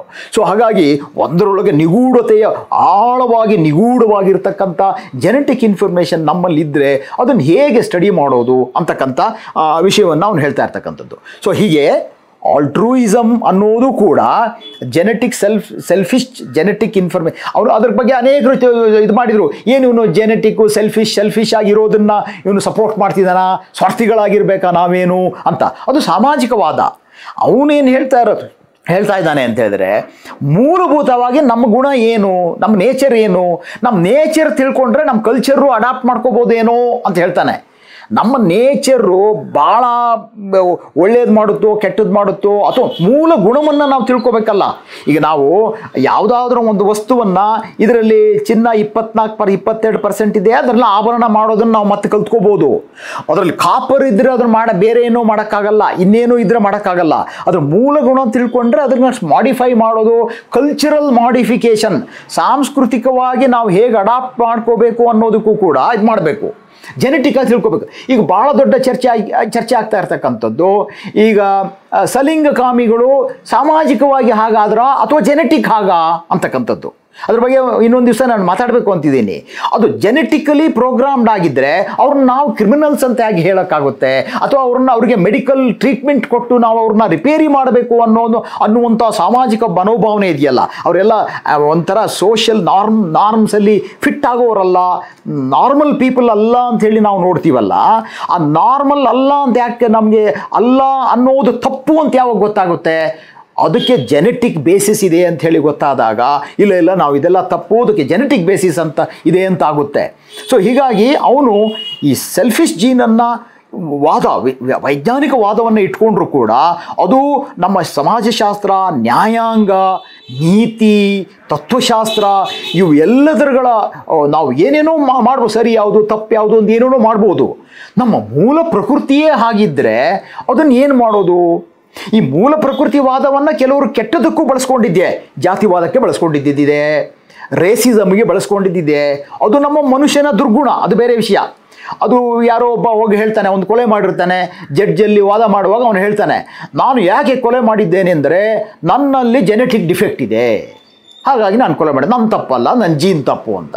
ಆಗ ಅವನು ಜಡ್ಜ್ ಹೇಳ್ತಾನೆ, ಇಲ್ಲಪ್ಪ, ನನಗೂ ಒಂದು ಪ್ರಾಬ್ಲಮ್ ಇದೆ ಕಣಯ್ಯ. ಏನಂತ ಹೇಳಿದರೆ, ನನಗೆ ಯಾರಾದರೂ ಇಂಥವ್ರನ್ನ ಕಂಡ್ರೆ ಮ್ಯಾಕ್ಸಿಮಮ್ ಪನಿಷ್ಮೆಂಟ್ ಕೊಡಬೇಕು. ಅತಿ ಹೆಚ್ಚು ತೀವ್ರವಾದ ಶಿಕ್ಷೆ ಕೊಡಬೇಕು ಅಂತ ನನಗೊಂದು ಜೀನ್ ಡಿಫೆಕ್ಟ್ ಇದೆ ಅಂತ. ಆ ಥರ ಇದೊಂದು ರೀತಿಯಲ್ಲಿ ಸಾಮಾಜಿಕ ಚರ್ಚೆ, ಸಾಮಾಜಿಕ ಆಯಾಮಗಳನ್ನು ನೋ, ಕನ್ನಡಿಯಿಂದ ನೋಡ್ತಕ್ಕಂಥದ್ದು. ಅದು ಹಾಗಿರಲಿ, ಆದರೆ ಈ ಮೂಲ ಪ್ರಕೃತಿಯನ್ನು ಜೆನೆಟಿಕ್ ಟ್ರೇ ಜೆನೆಟಿಕ್ ಗುಣವನ್ನು ನಾವು ಅರ್ಥ ಮಾಡಿಕೊಂಡ್ರೆ ನಮ್ಮನ್ನೇ ನಾವು ಅರ್ಥ ಮಾಡ್ಕೊಂಡಂಗೆ ಆಗುತ್ತೆ. ಅದ್ರ ಜೊತೆಗೆ ಇನ್ನೊಂದು ಫ್ಯಾಕ್ಟ್ರನ್ನ ಸೆಲ್ಫಿಶ್ ಜೀನಲ್ಲಿ ಅವನು ಹೇಳ್ತಾನೆ. ಏನದು ಅಂತ ಹೇಳಿದರೆ ಒಂದು ಅವನು ಹೇಳೋದು ಜೆನೆಟಿಕ್ಸು ಇನ್ನೊಂದು ಮೆಮೆಟಿಕ್ಸ್ ಅಂತ. ಮೀಮ್ ಅಂತ ಹೇಳಿ ಹೇಳ್ತಾನೆ. ಮೀಮ್ ಅಂದರೆ ಇವತ್ತು ನಾವು ಸೋಷಿಯಲ್ ಮೀಡಿಯಾದಲ್ಲಿ ನೋಡೋ ಮೀಮ್ ಅಲ್ಲ ಅವನು ಹೇಳ್ತಾ ಇರ್ತಕ್ಕಂಥದ್ದು. ಮೀಮ್ ಜೀನ್ ಆ್ಯಂಡ್ ಮೀಮ್ ಮೀಮ್ ಅಂತ ಹೇಳಿದರೆ ಅವನು ಏನು ಹೇಳ್ತಿದ್ದಾನೆ ಅಂತ ಹೇಳಿದರೆ ಮೆಮೆಟಿಕ್ಸ್ ಅಂತ ಹೇಳಿದರೆ ಮನುಷ್ಯ ಜೀನ್ ಇನ್ಫಾರ್ಮೇಷನ್ ಜೊತೆಗೆ ಅನೇಕ ಸಾಮಾಜಿಕ ವಿಚಾರಗಳನ್ನು ಸಮಾಜ ಅವನಿಗೆ ಸಾಮಾಜಿಕವಾಗಿ ಕಲಿಸ್ತಾ ಕಲಿಸ್ತಾ ಕಲಿಸ್ತಾ ಹೋಗುತ್ತೆ. ಎಲ್ಲಿವರೆಗೆ ಅನೇಕ ವಿಷಯಗಳನ್ನು ನಾವು ಕಲಿತೀವಿ, ಸಾಮಾಜಿಕವಾಗಿ ಕಲಿತೀವಿ. ಹೌದು, ನಾವು ಹಾಡು ಹೇಳೋದು ಸಾಮಾಜಿಕವಾಗಿ ಕಲಿತಿದ್ದ ಅಥವಾ ಬಾ ಇನ್ಬಾರ್ನ್ ನಾವು ಎಷ್ಟೋ ಸರಿ ಇನ್ಬಾರ್ನ್ ಇನ್ಬಾರ್ನ್ ಅಂತ ಹೇಳ್ತೀವಿ. ಎಷ್ಟು ನಾವು ಸಾಮಾಜಿಕವಾಗಿ ಕಲ್ತಿದ್ದು, ಅವನು ಒಂದು ಯಾರೋ ಬೇರೆಯವರು ಮಾಡಿರ್ತಕ್ಕಂಥ ಸ್ಟಡಿಯನ್ನು ಉಲ್ಲೇ, ಉಲ್ಲೇಖ ಮಾಡ್ತಾನೆ. ಸಾಂಗ್ ಬರ್ಡ್ಸು ಬರ್ಡ್ಸು ಅವುಗಳು ಕೂಡ ಹಿರಿಯವರಿಂದ ಕಿರಿಯವರಿಗೆ ಹಾಡನ್ನು ಹೇಳಿಕೊಡಲಾಗುತ್ತದೆ. ಹಾಡನ್ನು ಕಲಿಸಿಕೊಡಲಾಗುತ್ತದೆ. ಹಾಗಾಗಿ ಹಾಡು ಬರ್ತದೆ ಅಂತ ಹೇಳ್ತಾನೆ ಅವನು. ಹೌದು, ಹಾಡು ಬರೋದು ಜೆನೆಟಿಕ್ ಇನ್ಫಾರ್ಮೇಷನ್ನು ಇಲ್ವಾ? ಗಂಡು ಹೆಣ್ಣನ್ನು ಅಟ್ರ್ಯಾಕ್ಟ್ ಮಾಡೋದಕ್ಕೆ ಹಾಡುತ್ತಾ? ಅದು ಜೆನೆಟಿಕ್ ಅಲ್ವಾ? ಅಂತಕ್ಕಂಥ ಬರ್ತದೆ ಆದರೆ ಕಲ್ಚರಲ್ಲಿಯೂ ಕೂಡ ಆ ಸಾಂಗನ್ನು ಮಾಡಿಫೈ ಮಾಡ್ತಾ ಮಾಡ್ತಾ, ಬೇರೆ ಬೇರೆ ಆಕ್ಟೇವ್ಸ್ ಅಂತ ಏನು ಹೇಳ್ತಾರೆ ಮ್ಯೂಸಿಕಲ್ಲಿ ಅದನ್ನೆಲ್ಲ ಕಲಿಯುವಂಥದ್ದು ಇದು ಸೋಷಿಯಲ್ ಟ್ರಾನ್ಸ್ಮಿಷನ್ನು ಕಲ್ಚರಲ್ ಟ್ರಾನ್ಸ್ಮಿಷನ್ ಅನ್ನೋದು ಕೂಡ ಇದೆ ಅಂತ ಅವನು ಹೇಳ್ತಾನೆ. ಕಲ್ಚರಲ್ ಟ್ರಾನ್ಸ್ಮಿಷನ್ ಅದು ಸಾಮಾನ್ಯವಾಗಿ ಸಾಂಗ್ ಬೋರ್ಡ್ ಬಗ್ಗೆ ಹೇಳ್ತಾರೆ. ಯಾವ ಮನುಷ್ಯನೂ ಅಷ್ಟು ಚೆನ್ನಾಗಿ ಹಾಡದೇ ಇರತಕ್ಕಂಥ ಆ ಫ್ರೀಕ್ವೆನ್ಸಿ ವೇವ್ ಲೆಂತ್ ಆಕ್ಟೇವ್ಸ್ಗಳು ಏನು ಹೇಳ್ತೀವಿ? ಅದು ಹೊಕ್ಕಿ ಹಾಡುವ ಹಾಡನ್ನು ಯಾವ ಮನುಷ್ಯರಿಗೂ ಹಾಡೋಕ್ಕಾಗಲ್ಲಂತೆ ನಾವು ಮನುಷ್ಯರೇ ಗೇಟ್ ಸಿಂಗರ್ಸ್ ಅಂತ ಅಂದ್ಕೊಂಡಿರ್ತೀವಿ ಅದು ಬೇರೆ ವಿಷಯ. ಆದರೆ ಅನಿಮಲ್ಸಲ್ಲೂ ಕಲ್ಚರಲ್ ಟ್ರಾನ್ಸ್ಮಿಷನ್ ಇದೆಯಾ? ಅಥವಾ ಮನುಷ್ಯ ಮಾತ್ರ ಕಲ್ಚರಲ್ ಟ್ರಾನ್ಸ್ಮಿಷನ್ನ ಫಾರ್ ಎಕ್ಸಾಂಪಲ್ ಸ್ವರ್ಗ, ನರಕ ಇದೆ ಅಂತಕ್ಕಂಥ ಒಂದು ಕಲ್ಪನೆ ನಮಗೆ ಭಾಳ ಡೀಪಾಗಿ ಕಲ್ಚರಲ್ಲಿ ಬರುವಂಥದ್ದು. ಅದು ಜೆನೆಟಿಕ್ಕಾ ಅಥವಾ ದೇವರಿಗೆ ಆ ದೇವರು ಎನ್ನುವ ಒಂದು ಜೀನ್ ದೇಹದಲ್ಲಿ ಇದೆಯಾ? ಈ ಕೆಲವು ಸಾರಿ ಜೀನ್ ಹುಡುಕೋದಕ್ಕೆ ಎಲ್ಲದಕ್ಕೂ ಹುಡುಕ್ತಾರೆ. ಹಣಕ್ಕೆ ಹಣ ಮಾಡೋದಕ್ಕೊಂದು ಜೀನ್ ಇದೆಯಾ ಅಂತಲೂ ಹುಡ್ಕೋದುಂಟು ಅದು ಬೇರೆ ವಿಷಯ. ಆದರೆ ಈ ಮೆಮೆಟಿಕ್ಕಲ್ಲಿ ಅವನೇನು ಹೇಳ್ತಾನೆ? ಸಾಂಸ್ಕೃತಿಕವಾಗಿ ಇಂಥ ವಿಚಾರಗಳು. ಇದು ಸ್ವರ್ಗ, ನರಕವೆಂಬ ವಿಷಯ ಇರ್ಬೋದು, ದೇವರು ಎಂಬ ವಿಷಯವಿರ್ಬೋದು ಅಥವಾ ಅನೇಕ ಸಾಂಸ್ಕೃತಿಕ ವಿಷಯವಿರ್ಬೋದು ಅನೇಕ ಪ್ರಿಜುಡಿಸ್ಗಳು ನಮ್ಮ ಪೂರ್ವ ಏನು ಗ್ರಹಿತ ಪೂರ್ವ, ಪೂರ್ವಗ್ರಹಿಕೆಯಿಂದ ಇರ್ತದಲ್ಲ ಪ್ರಿಜುಡಿಸ್ಗಳು ಇರ್ತವಲ್ಲ, ಪೂರ್ವಭಾವದಿಂದ ನಾವು ಪೀಡಿತರ, ಪೀಡಿತರಾಗಿರ್ತೀವಲ್ಲ, ಇಂಥ ಭಾವನೆಗಳು ಜೆನೆಟಿಕ್ಕಾ ಬಣ್ಣದ ಮೇಲೆ ಅದು ಶ್ರೇಷ್ಠ, ಇದು ಕನಿಷ್ಠ ಉಚ್ಚ ನೀಚ ಅಂತೆಲ್ಲ ಹೇಳುವಂತಿದೆ. ಇದು ಜೆನೆಟಿಕ್ಕಾ ಅಲ್ಲ. ಅಥವಾ ಶ್ರೇಷ್ಠ, ಇವು ಏನು? ಈ ಈ ಈ ಆಹಾರ ಒಳ್ಳೆಯದು ಅದು ಒಳ್ಳೆಯದಲ್ಲ ಅಥವಾ ಈ ಬಣ್ಣ ಒಳ್ಳೆಯದು ಆ ಬಣ್ಣ ಒಳ್ಳೆಯದಲ್ಲ ಅಥವಾ ಇವರು ಬುದ್ಧಿವಂತರು, ಇವರು ಬುದ್ಧಿವಂತರಲ್ಲ ಅಂತಕ್ಕಂಥದ್ದೆಲ್ಲ ಏನು ನಮಗೊಂದು ಪ್ರಿಜುಡಿಸ್ಗಳಿದೆಯಲ್ಲ ಆ ಪ್ರಿಜುಡಿಸ್ಸು ಸಾಮಾಜಿಕವಾಗಿ ಟ್ರಾನ್ಸ್ಮಿಷನ್ ಆಗಿದ್ದು, ಅದು ಧರ್ಮದ ಕೆಲವು ಮಿಸ್ಇಂಟರ್ಪ್ರಿಟೇಷನ್ಸ್ ಇರ್ಬೋದು, ಅಥವಾ ರೈಟ್ ಇಂಟರ್ಪ್ರಿಟೇಷನ್ ಇರ್ಬೋದು. ಈಗ ರೇಸಿಸಮನ್ನು ಸೌತ್ ಆಫ್ರಿಕಾದಲ್ಲಿ ಅನೇಕ ವರ್ಷಗಳ ಕಾಲ ವರ್ಣಭೇದ ನೀತಿ ಇತ್ತು ನಮ್ಮಲ್ಲೂ ಬೇರೆ ರೀತಿಯಲ್ಲಿ ಇರ್ಬೋದು. ವರ್ಣಭೇದ ನೀತಿ ಇತ್ತು. ಆ ವರ್ಣಭೇದ ನೀತಿಯನ್ನು ಬಿಳಿಯ ಸಾಮ್ರಾಜ್ಯ ಆಳ್ತಾ ಇರತಕ್ಕಂಥ ಬ್ರಿಟಿಷರು ಏನು ಹೇಳ್ತಿದ್ರು ಅಂದರೆ, ಇದಕ್ಕೆ ಬೈಬಲ್ನಲ್ಲಿ ಸ್ಯಾಂಕ್ಷನ್ ಇದೆ. ಇದು ಬೈಬಲ್ ನಮಗೆ ಸಪೋರ್ಟ್ ಮಾಡುತ್ತೆ. ಹಾಗಾಗಿ ಕರಿಯವರು, ಬಿಳಿಯವರು ಸೇವೆ ಮಾಡಬೇಕು. ಇದು ಬೈಬಲ್ನಲ್ಲಿ ಇದೆ ಅಂತ ಹೇಳ್ಕೊಂಡು ಬಂದರು. ಇದು ಜೆನೆಟಿಕ್ಕಾ ಅಲ್ಲ, ಮನುಷ್ಯ ಮ್ಯಾನಿಪುಲೇಟ್ ಮಾಡಿರ್ತಕ್ಕಂಥದ್ದು. ಮನುಷ್ಯ ತನ್ನ ತನ್ನ ಗುಂಪಿಗೆ, ತನ್ನ ತನ್ನ ಸೆಕ್ಷನ್ಗೆ ಅಥವಾ ಸೆಕ್ಟಿಗೆ ಅಥವಾ ಒಂದು ಗುಂಪಿಗೆ ತನ್ನ ಪ್ರಭಾವವನ್ನು ವೃದ್ಧಿಗೊಳಿಸೋದಕ್ಕೋಸ್ಕರ ಧರ್ಮ ಮತ್ತು ವಿಜ್ಞಾನವನ್ನೂ ಈ ರೀತಿಯಾಗಿ ಮಿಸ್ಇಂಟರ್ಪ್ರಿಟೇಟ್ ಮಾಡ್ತಕ್ಕಂಥದ್ದು ಇದೆ. ಅಲ್ಲಿ ಹಾಗೆ ನೋವಾ ಸಾರ್ಕ್ ಅಂತ ಬರುತ್ತೆ ಬಿಬ್ಲಿಕಲ್ ಸ್ಟೋರೀಸಲ್ಲಿ ಅವನು ಎಲ್ಲರನ್ನ ಸಮುದ್ರದಲ್ಲಿ ದೋಣಿಯಲ್ಲಿ ತಗೊಂಡೋಗಿ ಸೇವೆ ಮಾಡಿ ಬಿಟ್ಟ.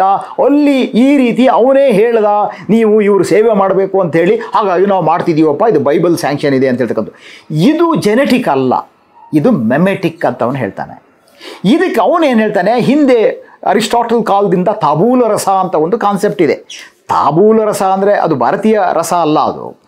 ತಾಬೂಲ ರಸ ಅಂತ ಹೇಳಿದರೆ ಬ್ಲ್ಯಾಂಕ್ ಸ್ಲೇಟ್ ಅಂತ ಲ್ಯಾಟಿನ್ ವರ್ಡ್ ಅದು. ಬ್ಲ್ಯಾಂಕ್ ಸ್ಲೇಟ್ ಅಂದ್ರೆ ಏನು?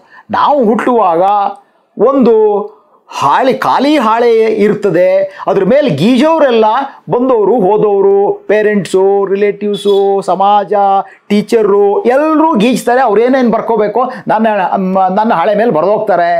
ಇದು ಮೆಮೆಟಿಕ್ಕು ಈ ಯಾರೋ ಒಬ್ಬ ಹೇಳ್ತಾನೆ, ನನ್ನ ಇಚ್, ಇಚ್ಛೆ, ನನ್ನ ಆಯ್ಕೆ, ನನ್ನ ಪ್ರೀತಿ, ದ್ವೇಷ ಎಲ್ಲವೂ ನನ್ನದಲ್ಲ. ನನಗೆ ಹೇಳಿಕೊಟ್ಟವು ಅಂತ. ಯಾರೋ ಒಬ್ಬ ಹೇಳ್ತಾನೆ, ನಾನು ನನಗೆ ದ್ವೇಷವೆಂಬುದು ಅಥವಾ ಈ ಡಿಸ್ಕ್ರಿಮಿನೇಷನ್ ಮಾಡ್ತಕ್ಕಂಥದ್ದು. ಅನ್ನೋದು ದೇ ದ್ವೇಷವೆಂಬುದು ನನಗೆ ಗೊತ್ತಿರಲಿಲ್ಲ. ಅಥವಾ ಒಬ್ಬರನ್ನು ಹೀಯಾಳಿಸುವುದು ಅಥವಾ ಇನ್ನೊಂದು ಮೂದಲಿಸುವುದು ಈ ರೀತಿ ಸಾಮಾಜಿಕವಾಗಿ ನಮಗೆ ನನಗೆ ಪೂರ್ವಗ್ರಹ ಪೀಡಿತನ ಆಗಿರಲಿಲ್ಲ ನಾನು. ಇಂಥದ್ದೆಲ್ಲ ಕಲಿತಿರಲಿಲ್ಲ ನಾನು. ಆದರೆ ಅದಕ್ಕೆ ನಾನು ಶಾಲೆಗೆ ಹೋಗಬೇಕಾಯಿತು ಅಂತ. I didn't know how to discriminate I didn't know what is hatred I didn't know what is what is you know prejudice I have to go to school to learn it ಅಂತ.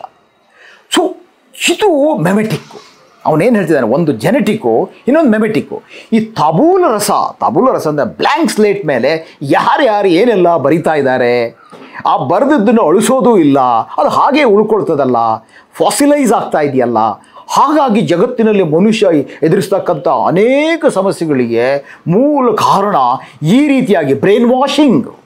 ಸತತವಾಗಿ ನಡೀತಾ ಇದೆಯಲ್ಲ, ಅದು ಬೇರೆ ಬೇರೆ ಹೆಸರುಗಳಲ್ಲಿರ್ಬೋದು brain washing ನಡೀತಾ ನಡೀತಾ ಇರೋದರಿಂದ ಆ ಪ್ರಿಜುಡಿಸ್ಗಳನ್ನು ಮತ್ತೆ ಮತ್ತೆ ಮತ್ತೆ ಗಟ್ಟಿಯಾಗುವಂತೆ, ಬೇರು ಊರುವಂತೆ ನಾವು ಮಾಡ್ತಾ ಇದ್ವಿ ಅದಕ್ಕೋಸ್ಕರ ಐನ್ಸ್ಟೈನ್ ಒಂದು ಕಡೆ ಒಂದು ಮಾತು ಹೇಳ್ತಾನೆ I can break the atom but not human prejudice ಅಂತ.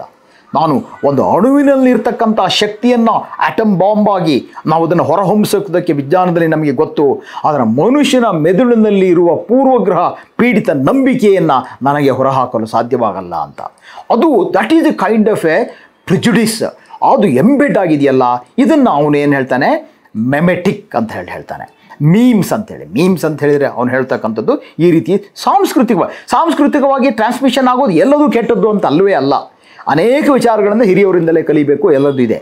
ಆದರೆ ಹ್ಯೂಮನ್ಸ್ ಟ್ರಾನ್ಸ್ಮಿಟ್ ದರ್ ಪ್ರಿಜುಡಿಸಸ್ ಎಷ್ಟೋ, ಅದಕ್ಕೆ ಹೇಳ್ತಾರೆ, ಮನುಷ್ಯ ಆರ್ಥರ್ ಕ್ಲಾರ್ಕು ಏನು, ಸ್ಪೇಸ್ ಒಡಿಸಿಯಲ್ಲಿ ಒಂದು ಕಡೆ ಹೇಳ್ತಾನೆ ಮನುಷ್ಯನಿಗೆ ಈ ಪೂರ್ವಗ್ರಹ ಪೀಡಿತ ನಂಬಿಕೆಗಳು ಇಲ್ಲದೇ ಇದ್ದಿದ್ರೆ he would have leapfrogged in to a super human being ಅಂತ. ಅದು ಎಷ್ಟು ಸರಿಯೋ ಗೊತ್ತಿಲ್ಲ ಬಟ್ ಅದೊಂದು ಹೇಳೋದಿದೆ ನಮ್ಮ ಪೂರ್ವಗ್ರಹ ಪೀಡಿತಗಳಿಗೆ ಪೀಡಿಕೆ, ನಂಬಿಕೆಗಳೇ ನಮ್ಮನ್ನು ಹೀಗೆ ಹಿಡಿದು ಹಿಡಿದು ಹಿಂದೆ ಎಳೆದು ಇಡ್ತಾ ಇದ್ದಾವ ನಮ್ಮಲ್ಲಿ ಈ, ಈಗಲೂ ಕೂಡ ಏನು ಅನೇಕ ಪಿಡುಗುಗಳಿದಾವಲ್ಲ.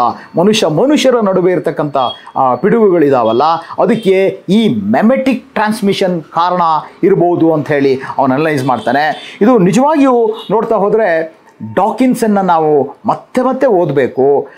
ಎಲ್ಲವನ್ನೂ ಸರಿ ಅವನು ಹೇಳಿದ್ದೆಲ್ಲ ಸರಿ ನಂಬಬೇಕು ಅಂತಕ್ಕಂಥ ವಿಷಯ ಅಲ್ಲ. But he leads you in to a solid churning and debate on various issues ಇದನ್ನು ನಾವು ಗಮನಿಸ್ಬೋದು. ಡಾಕಿನ್ಸ್ನ ಬೇರೆ ಎಲ್ಲ ಪುಸ್ತಕಗಳನ್ನು ಓದ್ಬೋದು.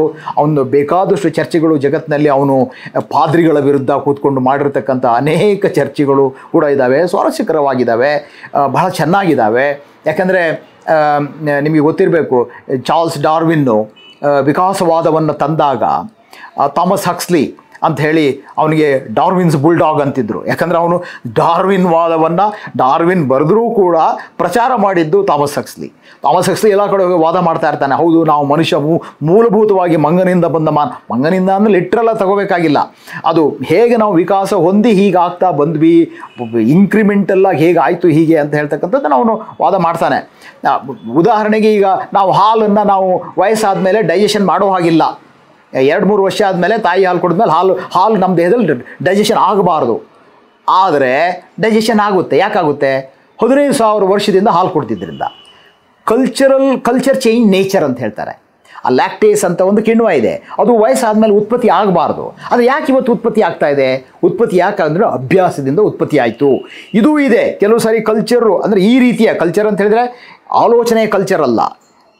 ಈ ರೀತಿಯ ಎಂಬೆಡೆಡ್ ಕಲ್ಚರ್ ಎಂಬೆಡೆಡ್ ಅಂತ ಹೇಳಿದ್ರೆ ನಾವು ಅದನ್ನು ತಿಂತ ತಿಂತ ತಿಂತ ನಮ್ಮ ಜೀನ್ ಕೂಡ ಅದಕ್ಕೆ ಒಗ್ಗಿಕೊಳ್ತಾ ಒಗ್ಗಿಕೊಳ್ತಾ ಸ್ಮಾಲ್ ಸ್ನಿಪ್ಸ್ ಅಂತ ಹೇಳ್ತೀವಲ್ಲ, ಏನು ಶಾರ್ಟ್ ಪಾಲಿಮಾರ್ಫಿಸಮ್ ಅದು ಆಗ್ತಾ ಆಗ್ತಾ ಜೀನ್ಸ್ ಬದಲಾಗ್ತಾ, ಬದಲ, ಬದಲಾಗ್ತಾ ನಮ್ಮ ದೇಹ, ಹೌದಪ್ಪ, ಇವನು ಹಾಲು ಕುಡಿಯೋದು ಬಿಡೋಂಗಿಲ್ಲ. ಹಾಗಾಗಿ ತಗೋ ಒಂದು ಕಿಣ್ವ ಅಂಥೇಳಿ ನಮ್ಮ ಜೀನ್ಸ್ ಕೊಟ್ಟಿದೆ. ಹಾಗೆ ಅದನ್ನ ನಾವು ಡೈಜೆಷನ್ ಮಾಡೋಕ್ಕೂ ಇದೆ. ಸೊ ಇದು, ಇದರ ಹೇಳ್ತಾರೆ that is the proof of evolution theory ಅಂತ. ವಿಕಾಸವಾದಕ್ಕೆ ಇದು ಸಾಕ್ಷಿ ಅಂತ ಹೇಳಿ ಹೇಳ್ತಾರೆ. ಸೊ ಇದು ಥಾಮಸ್ ಹಕ್ಸ್ಲಿ ಈ ಥರ ಡಿಬೇಟ್ ಮಾಡ್ತಾ ಹೋಗ್ತಾ ಇದ್ದ. ಹೋಗುವಾಗ ಒಂದು ಸಾರಿ ಒಬ್ಬ ಪಾದ್ರಿ ಕೇಳ್ತಾನೆ. ಒಬ್ಬ ಪಾದ್ರಿ ಹೇಳ್ತಾನೆ, ಜಗತ್ತು ನಾಲ್ಕು ಸಾವಿರ ವರ್ಷದ ಹಿಂದೆ ಭಾನುವಾರದ ದಿನದಂತೂ ಸೃಷ್ಟಿಯಾಯಿತು ಅಂತ. ಆಗ ಆಗ ಅವನಿಗೆ ಯಾರೋ ಕೇಳ್ತಾರೆ ಸೊ, ಸರ್, ದೇವರು ಏನು ಮಾಡ್ತಿದ್ದೆ ಸರ್ ಅದಕ್ಕಿಂತ ಮೊದಲು ಅಂತ. ಅವನಿಗೆ ಕೋಪ ಬಂದು, ಅದಕ್ಕಿಂತ ಮೊದಲು ಈ ಥರ ಪ್ರಶ್ನೆ ಕೇಳೋರಿಗೆ ಮೊದಲು ನರಕ ರೆಡಿ ಮಾಡ್ತಾ ಇದ್ದ ಅಂತ ಹೇಳ್ತಾನೆ. ತಮಾಷೆಗೆ ಹೇಳುವಂಥದ್ದು. ಹಾಗಾಗಿ ಇದು ಡಾಕಿನ್ಸನ್ನು ಮತ್ತೆ ಮತ್ತೆ ನಾವು ಓದ್ಬೋದು, ಎಲ್ಲ ಪುಸ್ತಕಗಳನ್ನು ಓದ್ಬೋದು. ಗಾಡ್ ಡಿಲ್ಯೂಷನ್ನು ಕೂಡ is worth reading whether you agree or whether or that ನಾನು ಮೊದಲೇ ಹೇಳಿದಾಗ ಆ ಡಿಬೇಟ್ ಎಷ್ಟರ ಮಟ್ಟಿಗೆ ನಿಜವಾಗಿಯೂ ಸ್ಪಿರಿಚುವಲ್ ಫಿಲಾಸಫಿಗೆ ಅಪ್ಲೈ ಆಗುತ್ತೆ, ಅದು ಬೇರೆ ವಿಷಯ. ಸೊ ಹಾಗಾಗಿ Dawkins is one of the finest science writer ಅದಕ್ಕೆ ಏನು ಹೇಳ್ತಾರಲ್ಲ you can you can love him or hate him but you cannot just ignore him is a solid force in the science writing so ಇದು Dawkins ಬಗ್ಗೆ. ಇನ್ನೊಂದು, ನಾನು ಬೇರೆ ವಿಷಯ. ಒಂದು- ರೀತಿಯಲ್ಲಿ ವಿಷಯಾಂತರ ಅಂತ ಅನ್ಸ್ಬೋದು. ಇನ್ನೊಂದು ರೀತಿಯಲ್ಲಿ ನಾನು ಮೊದಲು ಹೇಳಿದ್ದೆ ಇಲ್ಲಿ ಕಂಟಿನ್ಯೂ ಅಂತಲೂ ಅನ್ಕೋಬೋದು. ಯಾಕಂದರೆ ಒಂದು ರೀತಿಯಲ್ಲಿ ನಾನು ಏನು ಹೇಳಿದೆ ಮೆಮೆಟಿಕ್ ಅಂತ ಏನು ಹೇಳಿದೆ. ದ್ವೇಷ, ಜನಾಂಗೀಯ ದ್ವೇಷ, ಇದು ಜೆನೆಟಿಕ್ಕ ಅಥವಾ ಯಾವುದೋ ಧಾರ್ಮಿಕ ಶಾಲೆಯಲ್ಲಿ, ಮದ್ರಾಸದಲ್ಲೋ, ಇನ್ನೊಂದು ಕಡೆನೋ, ತನಗೆ ಬೇಕಾದಾಗೆ ಧರ್ಮವನ್ನು ಇಂಟರ್ಪ್ರೇಟ್ ಮಾಡಿ ಜಿಯಾವುದ್ದೀನ್ ಸರ್ದಾರ್ ಅಂತೇಳಿ ಒಂದು ಅವನೊಂದು ಪುಸ್ತಕ ಬರೆದಿದ್ದಾನೆ ರೀಡಿಂಗ್ ಕುರಾನ್ ಅಂತ. ಓದುವುದು ಹೇಗೆ ಅಂತ.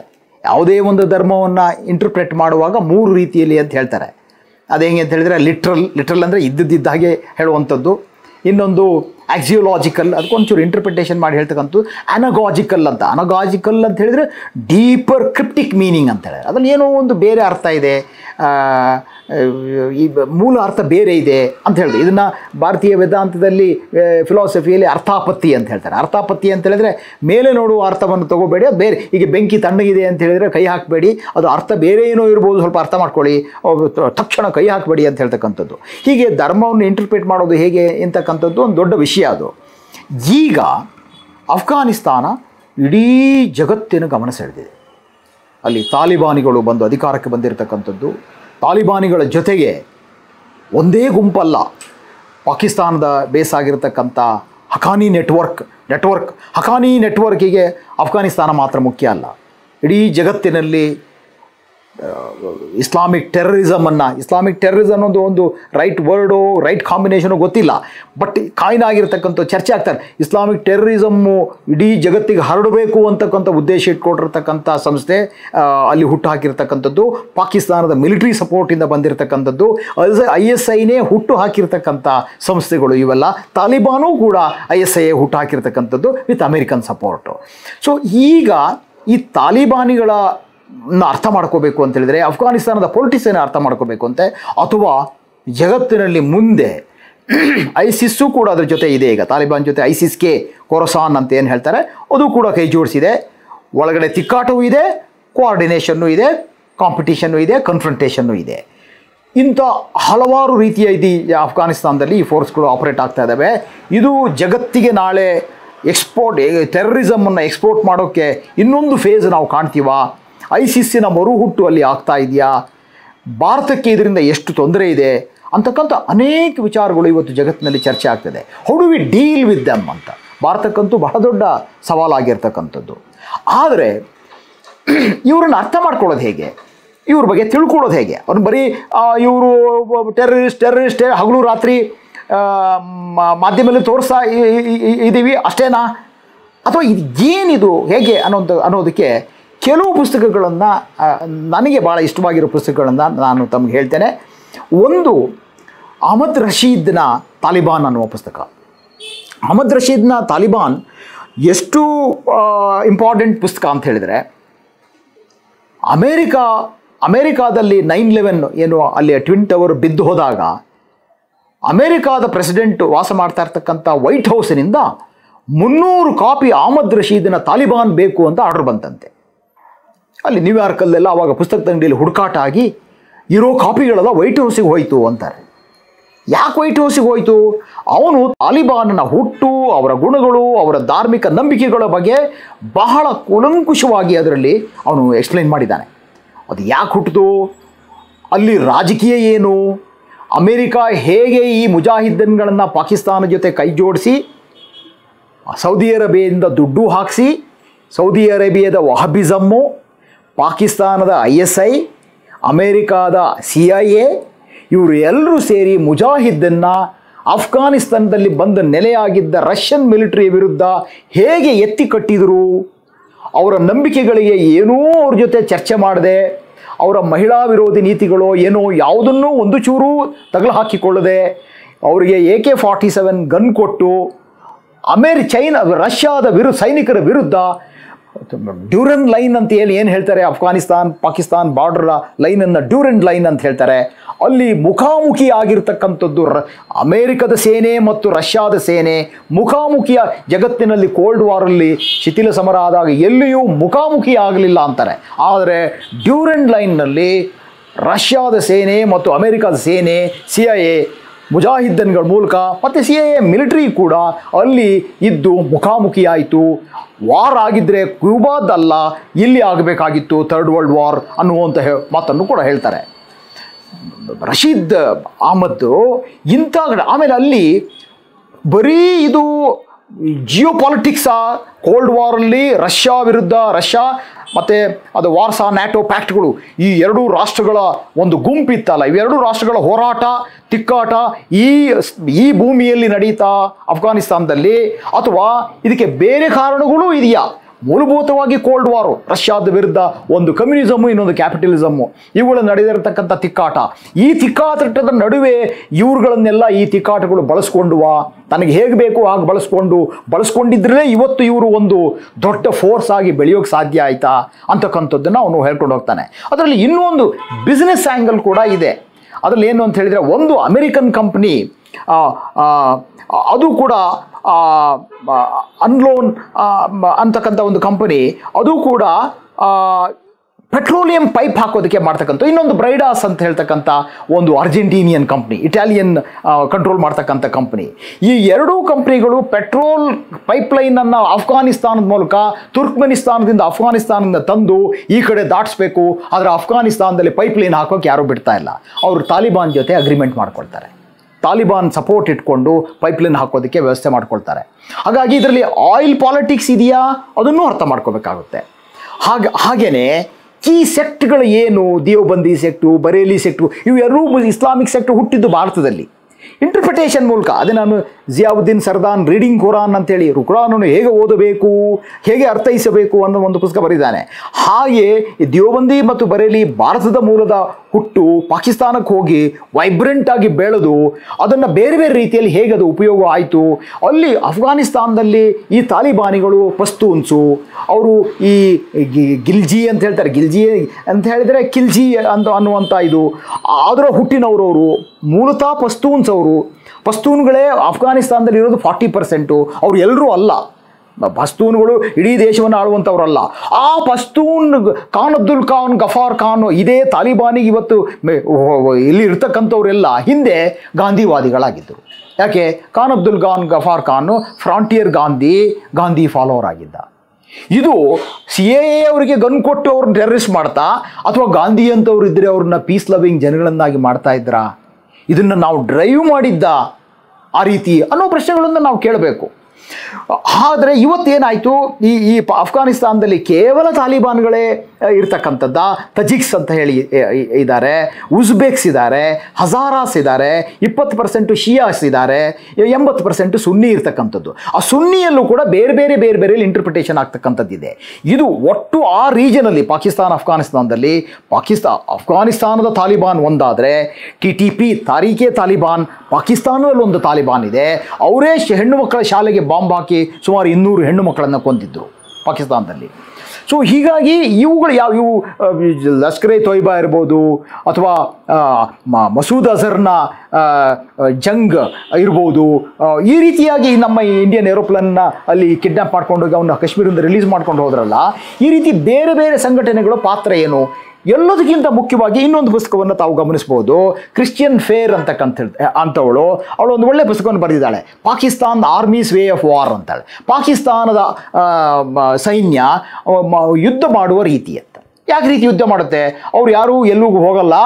ಯಾರೋ ಪಾಪ ಧಾರ್ಮಿಕವಾಗಿ ಬ್ರೈನ್ ವಾಶ್ ಆಗಿರೋನ್ನ ಹಿಡ್ಕೊಂಡು, ನೀನು ಅಲ್ಲಿ ಹೋಗಿ ಬಾಂಬ್ ಹಾಕು, ಇಲ್ಲ ನೀನೇ ಬ್ಲಾಸ್ಟ್ ಆಗು, ನಿನಗೆ ಸ್ವರ್ಗಕ್ಕೆ ಹೋಗ್ತೀಯಾ?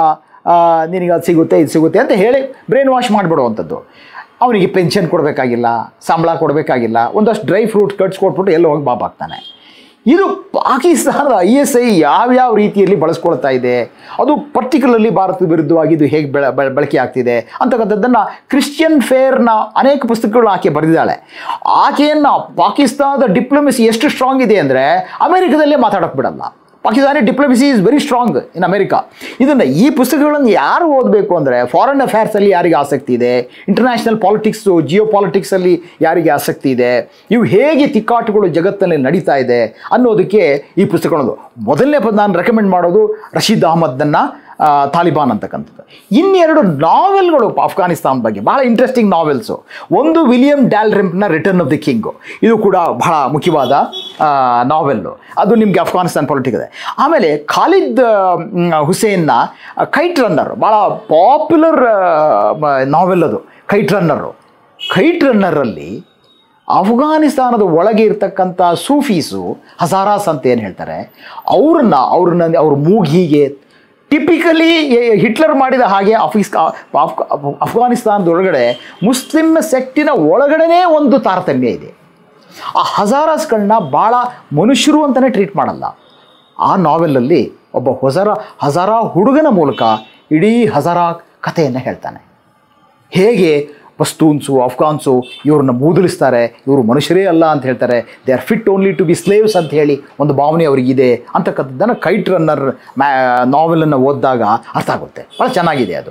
ಆಮೇಲೆ ಇನ್ನೊಂದು ಭಾಳ ನೋಡಬೇಕು. ಭಾಳ ಇಟಾಲಿಯನ್ ಸ್ಕಾಲರ್ ಅವನು. ಅವನು ಚೆನ್ನಾಗಿದೆ. ಆ್ಯಂಟೋನಿಯೋ ಗುಯಿಸಿಡ್ಜಿ ಅಂತ ಹೇಳ್ತಕ್ಕಂಥದ್ದು. ಅದು ಪ್ರೊನೌನ್ಸಿಯೇಷನ್ ಏನು ಸರಿಯಾಗಿ ಕೇಳಿ, ಗೊತ್ತಿಲ್ಲ.